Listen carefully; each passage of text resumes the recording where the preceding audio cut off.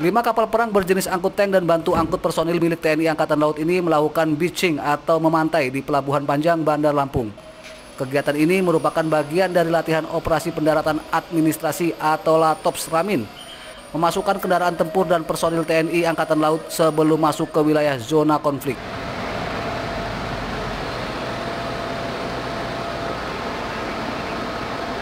Kapal perang yang dilibatkan pada operasi latihan ini di antaranya KRI Teluk Bintuni 520, KRI Makassar 590, KRI Teluk ND 517, KRI Teluk Heading 538, dan KRI Tanjung Kambani 971.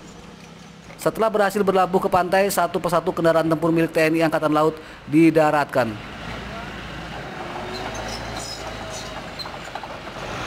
Kegiatan-kegiatan ini sangat penting untuk dilatihkan karena tugas pokoknya Kolin Lamil adalah membawa pasukan-pasukan angkatan darat untuk melaksanakan pertempuran di daerah sasaran yang sudah direncanakan.